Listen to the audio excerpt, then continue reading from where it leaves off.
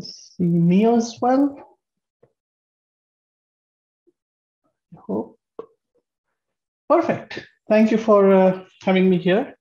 I think it was a very interesting sessions what we had uh, during these couple of days. Uh, and it was quite inspiring for us, especially as a customer, to most of the tools and techniques that has been demonstrated during a couple of uh, various sessions uh, or this OSLC Fest. So it's actually excites me more now. Uh, maybe I should start. I'm here not really talking more about OSLC itself, itself but uh, but as a customer, as a as a as an enterprise solutions, how we see the need of such a technology and how we see towards by showing one of the case study that we implement. So it's, it's still a very beginning phase of this process, but it's a it's a very interesting journey that we are we have taken on.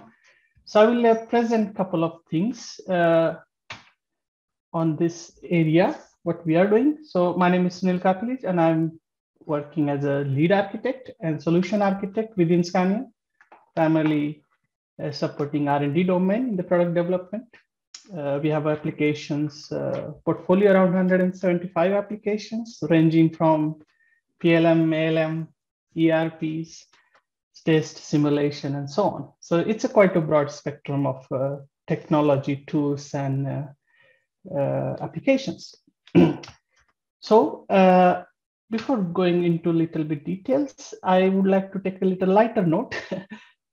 Apart from working technology and architecture and my hobbies like trekking and photography, I also like to see, especially those who are in Sweden, this is a part of the cricket part that, uh, that I'm also participating and playing in Sweden.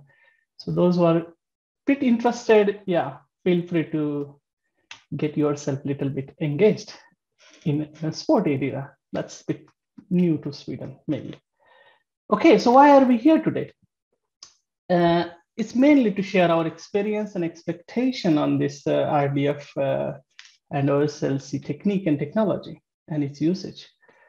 Uh, we are, I'm going to talk today a bit about our enable collaboration use case, where we would like to ensure that we track the engineering data between our OEM partners and suppliers. Uh, this presentation is primarily aiming at the, the, describing the business needs, the challenges, the architecture, learnings, and a little bit looking forward. Uh, this topic is quite big, as you can imagine. So we are only focusing on a very specific part of this, right? It's knowledge graph technology and its usage. So I think uh, it was good that uh, my colleague Damir already made a good presentation about Scania and, and hopefully you already know now that uh, Scania is one of the leading truck manufacturer provider of heavy engineering vehicles. And uh, we are leading partners in the transport industry uh, for providing transport solutions. So I'm not going to go in detail now, but as you probably also know that Scania is not only uh, uh, one of its own premium brand, but it's also part of a larger group called Traton, which is previously known as Volkswagen Truck and Bus, uh, which is just a rebranding now with the Traton. And Traton consists of various partners here. You see, Scania, MAN, Volkswagen Omnibus, and very recently, Traton has also acquired uh, Navistar, the US uh, truck manufacturer. So the family has grown now, and that means our challenges are also grown. And one of the challenges that I'm going to talk about is exactly related to this uh, multi-brand engineering collaboration. So what is the context here? The context is uh, we as a Scania would like to enable the Traton partner brands for the joint development, integration, and use of our common components within the group to benefit the intellectual synergy and global scale. This is just an illustration example that Scania design, develop, and produce various components like gearbox, engine, softwares, etc. And those are basically integrated and used by our partner brands like MAN and Navistar and also others. Of course, this illustration is not is focusing from Scania to and Navistar, but it's also applicable in a reverse direction when, when some of the components are owned and designed by our partner brands. So to be able to uh, work with this uh, engineering collaboration, the reason is, of course, to, to get the partnerships and accelerated growth, scale and efficiency, and, and the, the benefit of multi-brand engineering collaboration itself with, with the resources, uh, times, R&D, investments, and so on. So what is our foundation to this technology for growth? so I think we, we talked within Scania now has probably a lot of other good uh, presentations as previously mentioned that uh, digital thread, digital twin, and I would like to also emphasize on digital trust is, is one of the key pillars now to, to, to sustain and to ensure that we can deliver our products with a high quality and with a rapid pace of change. And this is uh, something, of course, uh, is not sufficient to say it on on uh, uh, on just paper. We, we need to implement that uh, with with the various tools, techniques, and methods also. So digital thread is one of the topics that we will touch a little bit here. Other topics, of course, as I said, there are multiple different solutions that we are working with. So how do we achieve this digital thread? It's, it's primarily, we focus on building knowledge graphs solutions around it. Uh, and what is it really? Uh, and as you, most of you here in this uh, conference are quite expertise on this topic. So probably it's not so much for me to tell you, but it's just to uh, provide in context here that it is one of the leading trend uh, which is emerging and which will have a, some sort of a long life cycle also, especially if you look at the life cycle from Gartner. And this is used primarily in many domains uh, and many interesting use cases, not necessarily in automobile domain, but uh, with other domains as well. And here are some of the use cases. And we, we got inspired from this, and we also see that there's a great benefit of uh, having our own footstep into this uh, domain. So in short, knowledge graph is, is, uh, is data with a lot of good relationships between the data to create a dynamic context and then apply semantics, the, the business rule, the business context to it, so that you, you get a knowledge, the meaning out of it. So the dynamic context.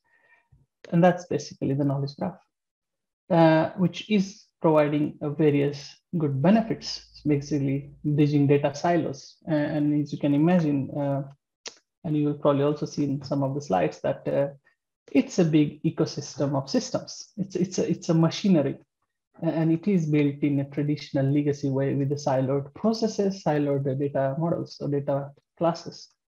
And now it's a, it's a, everywhere we see the need of traceability. It's one of the keywords now uh, when we talk digital thread. Of course, we need to get a complete visibility of our products, what's valid when, so that we can uh, perform various analysis, various change impact analysis, safety analysis, etc.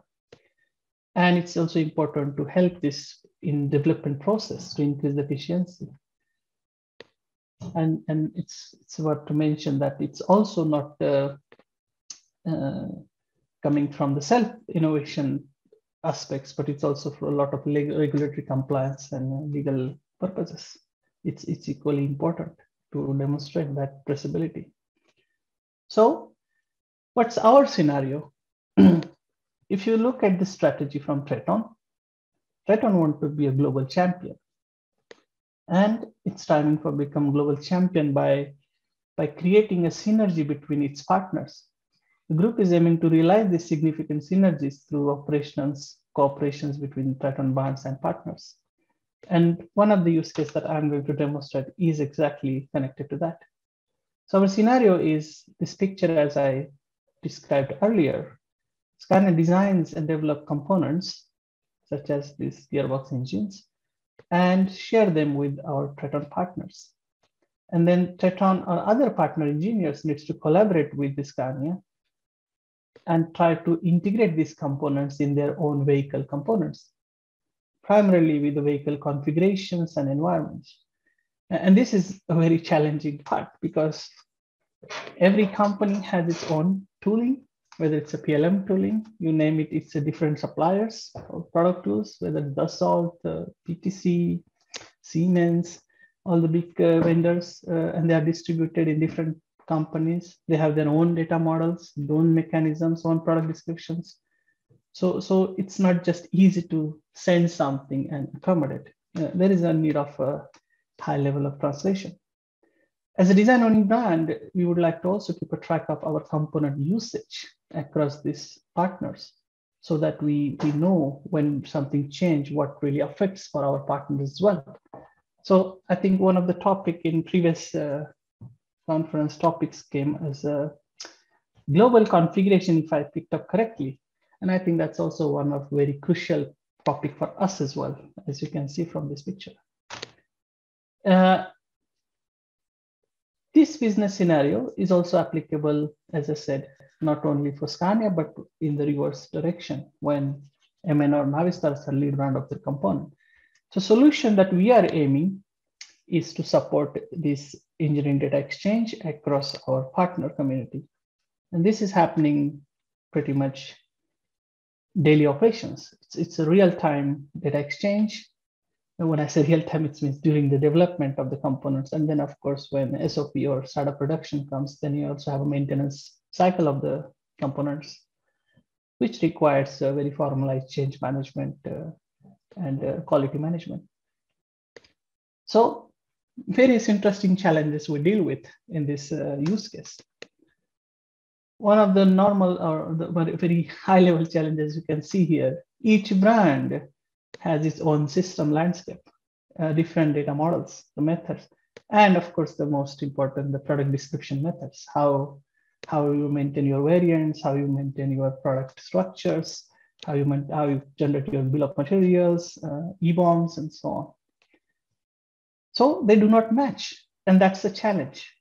Uh, that's a high level, one of the key challenge. But it's even more further than that that the challenges are also within each brand. And I'm talking just for Scania, but I'm sure this is the same challenges we also hear and see when we interact with these uh, partners. The challenges are that there are many systems and many domains within each company, especially like, like uh, you, you have described earlier as well. Requirements, structure, design, mechanical design, verifications, structure management, change management, and so on. So we do would like to have this work with the mechanical services, embedded software as, as a whole, cybersecurity uh, compliant and uh, cyber physical systems in going forward, which requires the digital thread establishment around all these domains. And I, am quite happy to see that uh, most of the presentations are really reflecting the same need in a more or less uh, same way. So this challenge is actually make life even more harder to do this uh, use cases what we are talking. Many information models, many system, not everything is connected. And then there is a clear need of configuration change management, which is very critical to, to know the, the impact of changes. So the need was or need is to, to maintain the modularity. Uh, that's one of the key pillar of Scania to, to describe our products in a modularized way. And of course, we would like to keep that as a, our foundation. Other need is the solutions needs to have a federated approach, means the master data and the user remains in their primary systems. Even they would like to exchange the information, work with another context. Uh, of course, we would like to reduce the manual efforts as much as we can so that the automated data exchange helps with the process uh, multi-brand solution and access control. So the, the challenges that you you work with a different access mechanism, access control, over the wire, in the firewalls, and so on. They, they are important, and and we have come come over this challenge at least uh, with the with the multi-brand identity federation and uh, single sign-on and so on. But I think this is one of the interesting challenge also for system authentications. Then we talk about data sharing traceability which is also very important. What did you share? When did you share? Did do I see the same version that I received what you sent, and etc. And of course, the data correlation traceability, which I'm going to talk a little bit more how we have solved with this help of the solution. So our solution approach to this challenge is to build the operational data layer with the help of knowledge graph technology, primarily focusing using RDF uh, as a main data modeling method. And of course, we would like to connect this with our other solution components, which is right now not part of this presentation, but we need much more than just this one. Uh, I got to very basic, like how we, we started and how we expanded our concept.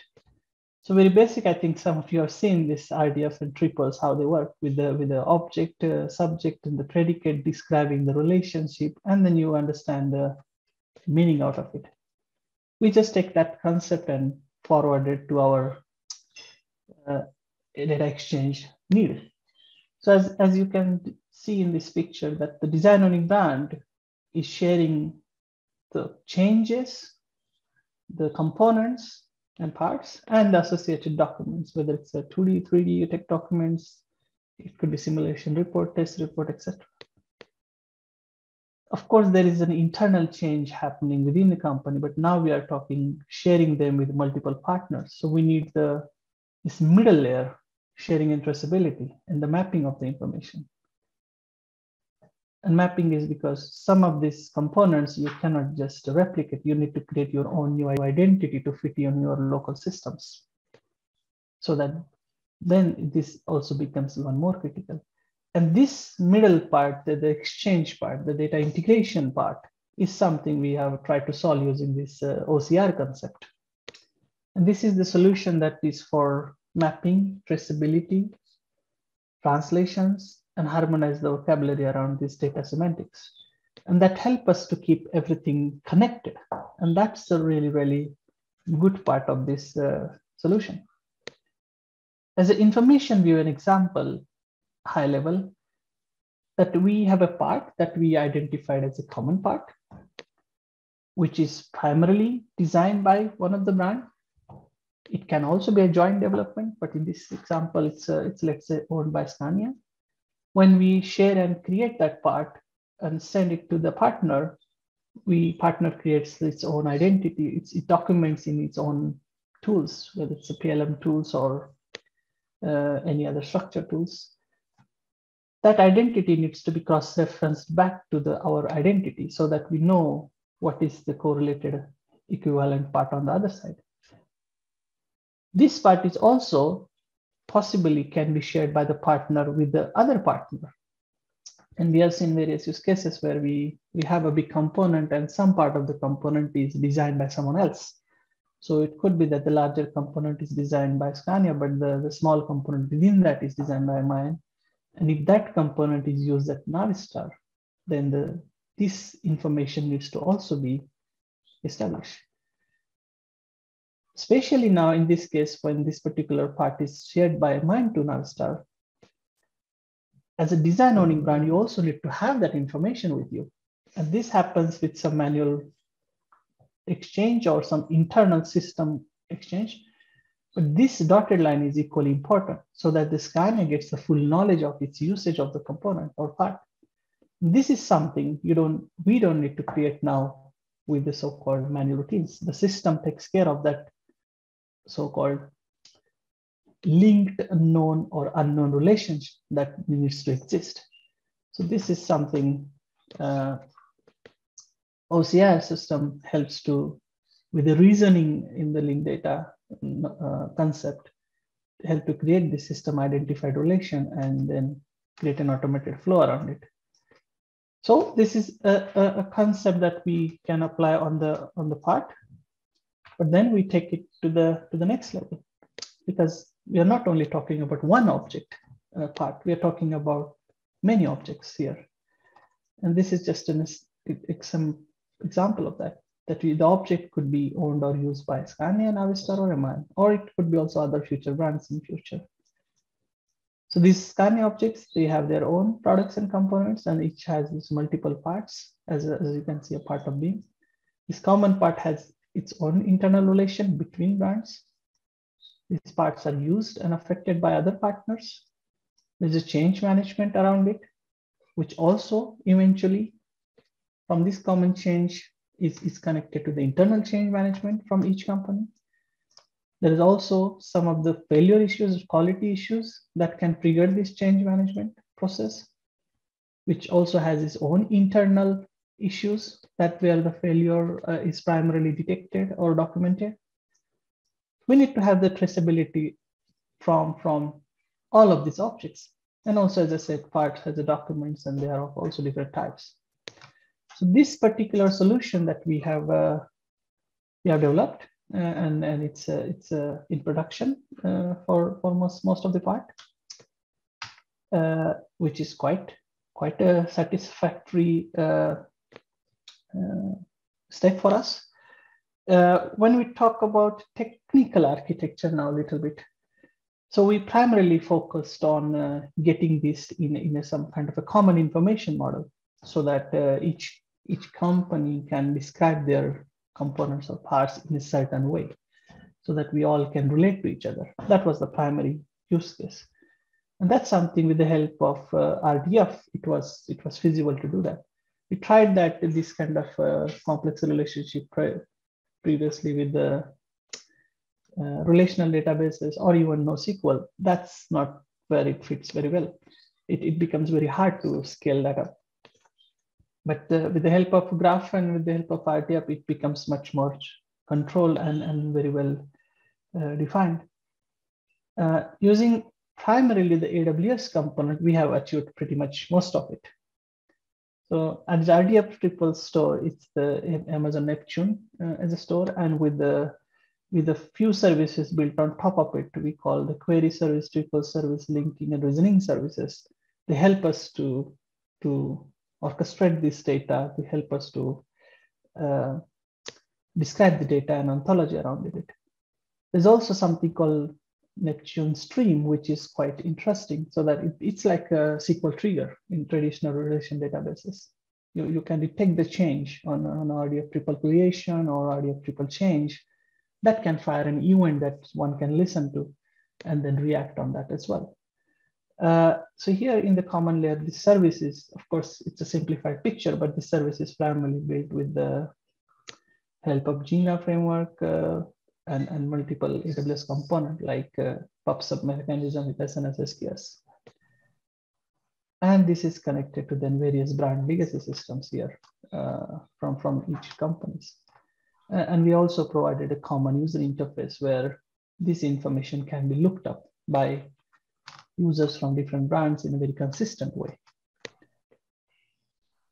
Here we talk about. you're, you're about to about three minutes now. So yeah, okay. I will uh, probably I'm catching up quickly now. Then thank you. Uh, so we talk about OSLC as, as one of the key contributor to this uh, integration. Uh, but it's it's it hasn't been that easy. Mainly, there are many, there are different challenges when you integrate with these uh, legacy systems, and I, I can just summarize in one line. When it comes to LM tools like Jira, Polarion, GitLab, and so on, I think they have much better native support for this kind of uh, integrations. But it doesn't really work smoothly when it comes to custom built uh, applications, especially the home built. Uh, so this, this particular area needs to scale up. And this is how the application look like uh, for, for end user. So we, we see the part number of Scania connected to MAN and Navistar and, and all those relations. And if you make a new relation, it automatically appear and everyone can take a good look at it. And there is also some kind of life cycle and change log around it. So in short, the summary of this is it's a really good solution for cross-reference needs. It's um, based on modern data-driven approach. Uh, so, so change happen and we listen and then we react kind of uh, approach. Primarily with the idea of technology. It's easy to scale with the multi-brand scenarios. Adding new relation with a new brand object is it's pretty much adding an instance. It can be used for mapping any kind of objects. It doesn't need to be just part drawing. It could be versions and so on. Data is managed consistently via REST APIs. Each brand would need to develop and maintain similar cross-reference solutions. Only one standardized interface is sufficient for everyone. Data is managed across and owned by each brand in line in their application. And then of course we get a good scalability with the cloud infrastructure. the, the, the, the, part here is instead of building too many smart and complex application, let's try to build a smart data. So we have a few learnings that we would like to just highlight here. I mean, it's we are still learning this process, and probably the tools that we learned today was quite quite probably interesting for us to look further. So graph data model is definitely very flexible method compared to traditional uh, relations and NoSQL. Solution is much better prepared for advanced use cases like AI and machine learning. RDF is powerful. However, there's a steep learning curve and it's very difficult to work uh, and find competence around this area. So that's also one of the limiting factors uh, to scale these solutions. Uh, we, we need to ensure that we keep the end user view and usage in mind when we describe these ontologies, because that also uh, impact the performance of the, of the operations. Uh, for consumer application, the interface, we think and we saw that the GraphQL endpoint is much, much easier and better approach on top of TripleStore to consume the information it, it reduces a lot of complexity. However, uh, when you talk to system to system integration, the SPARQL and OSLC is quite, quite good. OSLC is very good and helpful when we talk about object references with the delegated UI, especially as I mentioned in the LM domain, but it's hard with the legacy system. Uh, and maybe what we saw is it's quite promising now. We need a better tooling and development framework around this to get going. So what are the possible steps for us? We would like to, of course, include more information objects so that it, uh, it, it provides more traceability for more information areas. We would like to also scale this as a federated solution from each partner. So what I mean is basically these triple stores can be sitting in different areas with their own data, and we just then do the federated queries. And of course, provide the OSLC links to the key objects. And at the end, it's also important to have a better analysis and visualization tool so that we understand this uh, information data layer in a better way. I think I'm pretty much at the end of my slide. Thank you. And uh, if there are any Q&A questions, uh, please uh, go ahead.